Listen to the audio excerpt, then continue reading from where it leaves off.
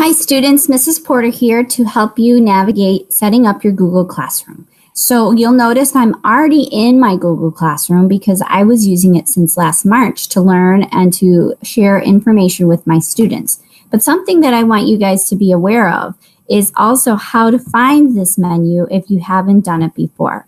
So starting with my Google desktop, you'll see if I'm using a Chromebook, oftentimes there'll be either a shortcut or you'll notice this nine dot menu since I'm already logged in. If I click on that nine dot menu, I have all of the different applications connected to my CPS account loaded right here. I'm going to click on Classroom. You'll see now that I have eight classes, including some here that are um, not as important, and I've left them down at the bottom. But the ones that I find to be most important are the ones where certainly homework is assigned and where I need to be checking in to make sure that I'm doing my work in a timely way. So I may want to take this class and move it to the front because it is, in fact, of a high priority. I have homework that is due on Friday.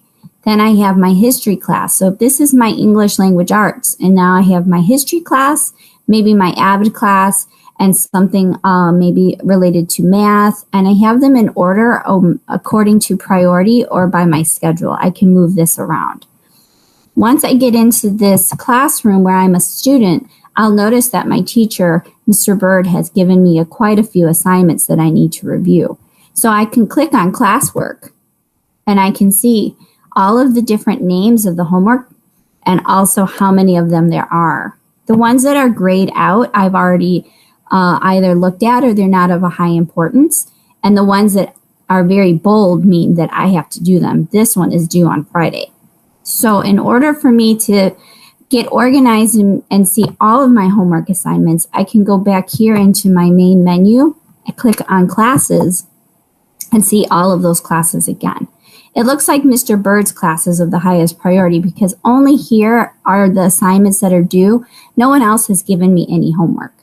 And so I can kind of relax and work and focus on this one first. So just to reiterate, when you log into your email, remember that you're going to see this nine dot menu. And if you want to go back into your email, you click on that and it's going to show you all of the um, assignments that are coming up and any messages that somebody has shared with you. So just notice that this little application menu, nine dots, is really, really important. And I hope that you learned something today. Um, see you in September and have a great rest of your summer.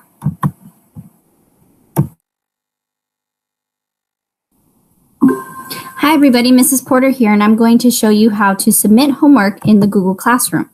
First, I'll open up my tab so that you can see my, that's where I always start to look for any assignments or any information that may have uh, come up this week because I might see a message that says it's due. So I'm going to then go into my nine dot menu because I'm checking my email and I don't see any assignments that are due. I see a Google Meet invitation, but I don't know where my homework is. So the next step is to check Google Classroom. Once I open up Google Classroom, I can see all of my classes for my program loaded right here. It looks like I have some assignments that are due on Friday. So I better click on my ELA class and see what these assignments are. I'm going to use the classwork tab to go straight to the homework assignments. And it looks like I have something due on Friday, August 28th. So I'm going to go ahead and click on this assignment.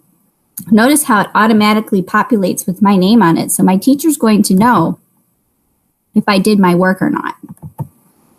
My assignment is this. It's a note catcher, so it's a big notebook that's full of all kinds of things to type and read. So as I continue to skim and scan, I can see that my teacher expects me to be using these white boxes to answer some questions that they've listed here on the left-hand side. So I'm going to go ahead and type an example here. I'm just going to say example so that you guys can see that some parts of these docs are um, editable and some of them are not. And you don't want to change any of these um, things that have been set up in the template. So I've added some details to that assignment and now I want to turn it in.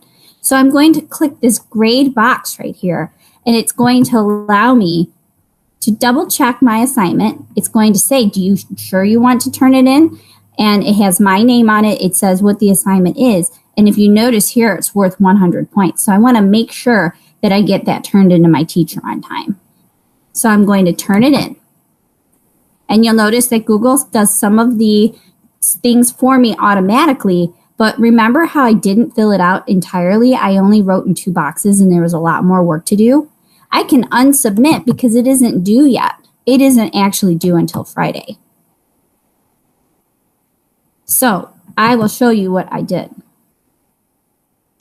I said, I'm going to turn it in and I'm going to give it to my teacher because it's worth 100 points and I want to make sure that I get full points for this assignment.